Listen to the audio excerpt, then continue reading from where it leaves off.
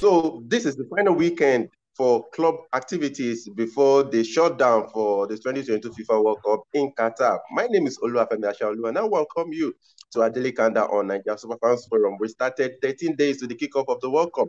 Now it is just six days to uh, the kickoff in Qatar. I don't know how you preparing. I saw a couple of hotels in Ghana, particularly it's Kotoka Hotel now. I saw um, images of Black Stars players. I saw the carve out at the airport just to put people in the mood. I saw some Ghanaians taking pictures with those just to put Ghanaians in the mood. I hope you are preparing our fans around the world, whose countries will be playing in Qatar. I hope you are preparing right here in Nigeria.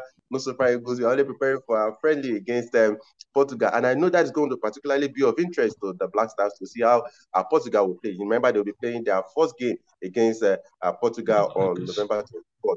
So Kayode Ogundare joins us via video. It is six days to the kickoff. And of course, today we'll be staying in Ghana, staying in Ghana because there's so much to talk about, always so much to talk about in that uh, part. Kayode Ogundare, welcome to our daily countdown. Uh, thank you, Femi. It's always a pleasure. As usual, we are here. The World Cup is, uh, you can feel the tension, you can feel the excitement already. Everybody, especially me, I am in the mood for the World Cup already. I don't know about you, but I'm very sure all our viewers they are all ready for the World Cup. So we cannot wait to go. Let's mm. get it on. Okay, Kade, we'll be, we'll be starting Ghana with something that is um, a bit controversial.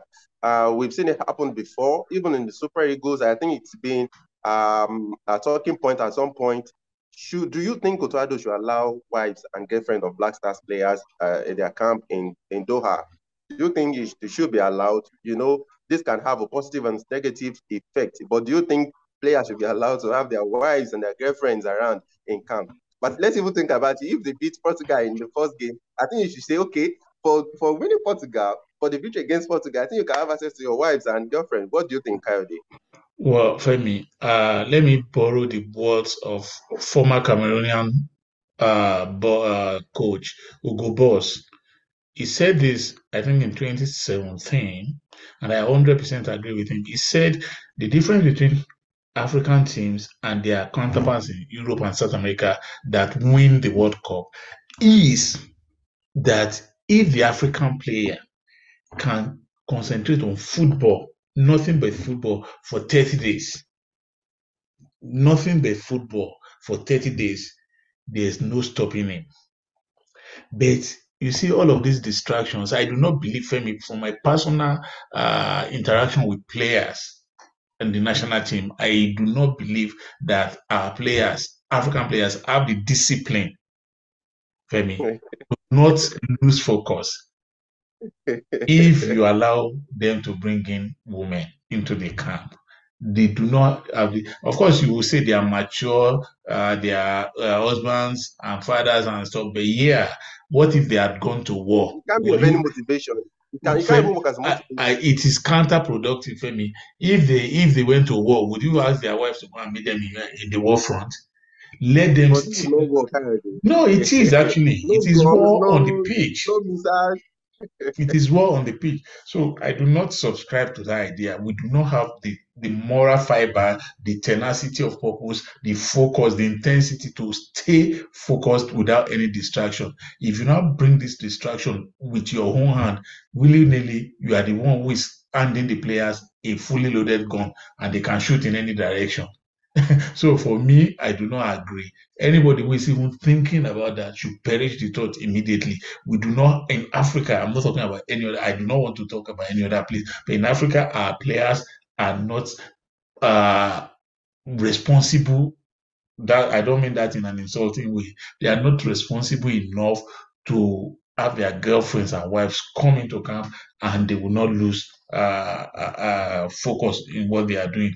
I've been, like I said, I've been around the national team. I, I see what players do for me, the extent to which they go. Don't forget in 2004, the Nigerian team to, to, have, to the AFCON in Tunisia, three players were sent home in disgrace because of something like this, when they were alleged to have small good women into their into their hotel rooms. You understand? So for me, that's even the one that was not allowed they see small good. And I learned from, from very reliable sources that those were not the only three. They were just used as the scapegoats. So that means it's a widespread uh, practice. Now, if you now sanction it officially, that means you have scattered the team. So I do not want Ghana to even think about it at all. Mm, okay, okay. Though Otto hasn't come out to actually say he, he would allow the Black Stars players to have access to their wives and girlfriends, but it's something that um, Ghanaian, Ghanaian media have tried to, or it's a debate that they've tried to stir up because you saw some of them, they posted pictures of the wives or, and girlfriends of some of these players, and they were saying that they would likely join them uh, in, in Qatar. We know Otto Addo is a zero bred kind of, so I'm sure practices like this, it might not want to allow it. Like you said, you might think about it to be counterproductive. But if you look at the lifestyle of someone like Ronaldinho, I think he, he said he, he parties a lot. He he he prolix around women a lot, but he had a very bright uh, uh, career. And also Sergio Ramos, I think there was a time his wife came out to say that Sergio Ramos would have sex almost every week, and you, you saw how, how well he performed at uh, at a, uh, his career at Real Madrid. Femi, if you think Ronaldinho is a success despite his off the field activities. Now imagine if he had if he, if he had added discipline to the talent he had. That's the difference. It would have even been bigger. By today, nobody would you would not be able to mention any other players in the same breath with Ronaldinho if he had that discipline. But he did not have. It's typical of Brazilians. Many of them, 90% of Brazilian players. Romario, for example, was a player who didn't like training at all. The same thing with Adriano. A lot of them, Edmundo the, the Beast, all of them, they do not like. I think the only player who had uh, the kind of discipline of the European player was Kaká. And that had to do with his being a very, very religious person. So every the typical Brazilian is a fun-loving, gaga, eh, come what devil may care a person. So I don't think Ronaldinho is a good example. Don't use Ronaldinho as an example. What I want you to think about is what could have been if Ronaldinho had added discipline, personal discipline, to the kind of talent he had. Then that means there would not be any player. It would, it would have been the greatest player of all time. So I don't want you, Femi, to keep insisting on this because when you make uh, make excuses like this, then that means you have something up your sleeve that you are planning. I do not support you in this journey at all, at all.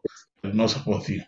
God the Super Eagles are not going. So our fans are across the world. Kayode is saying no, no, no, uh, absolutely no, no, absolutely no, no. Uh, around the camp of the Black Stars in Doha. Okay, uh, let's let's keep that aside for now. Kanye still stay in Ghana of course, uh, uh, you know, the controversies that surrounded the dropping, alleged dropping now of um, Joseph Paintsil, like we said, someone who scored five goals, created six assists in 13 games for Genk in Belgium. So why wouldn't you be taken to the World Cup? And one man has come out to uh, Wilfred Osei Palmer, who, who also um also wanted to be president, uh, GFA president at, at some point, but lost to Kotako or Kurt Okraku.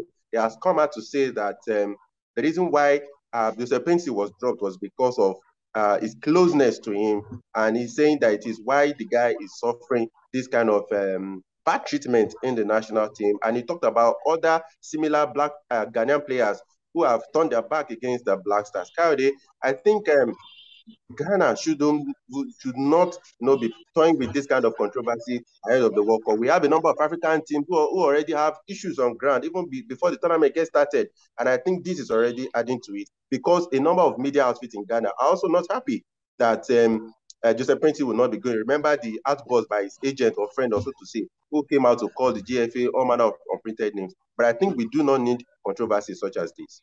Well, for me, as heavy and weighty as that allegation is, it still remains an allegation.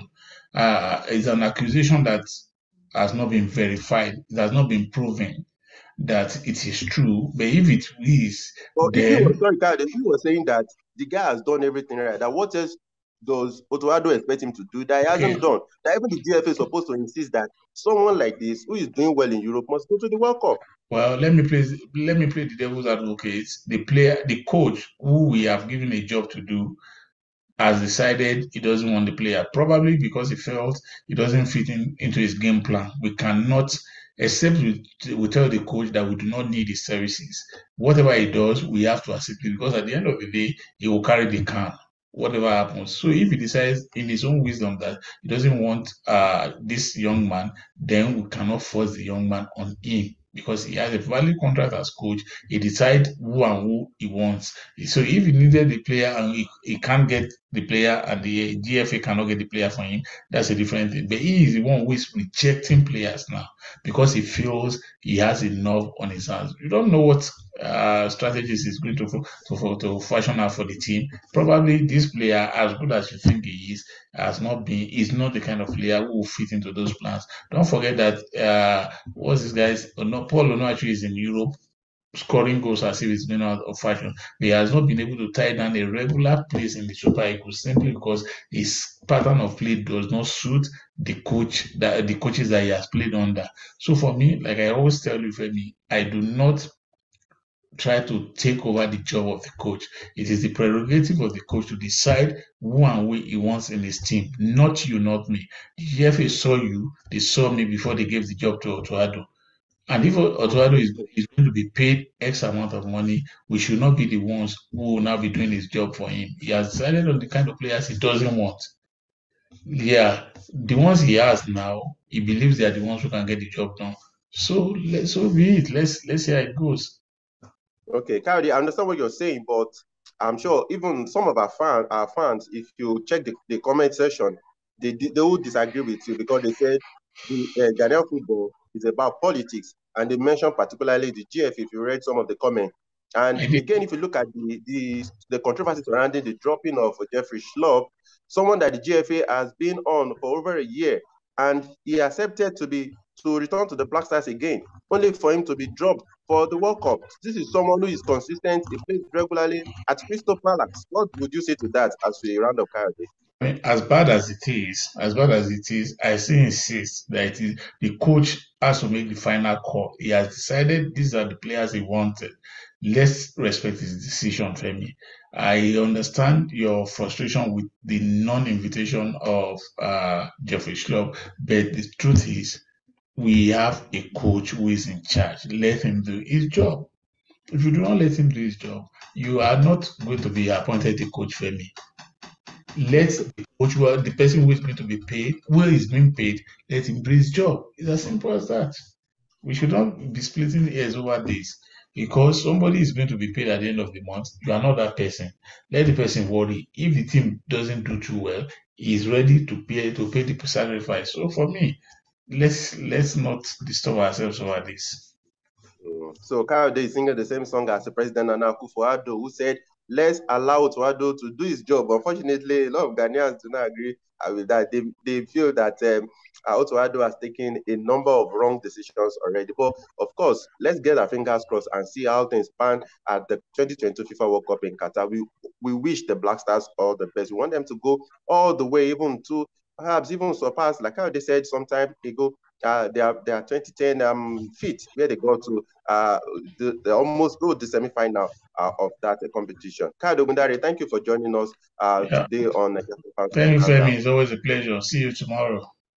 All right. So our fans around the world, see you tomorrow. Thank you for staying through with us uh, on this uh, journey, our daily countdown to uh, this tournament. It's almost here now. We can smell what is cooking in Qatar. I hope you are also in that mode already. So tomorrow is going to be another wonderful time on our daily countdown. So until we see tomorrow, I remain Oluwafemi Ashaolu. Bye for now.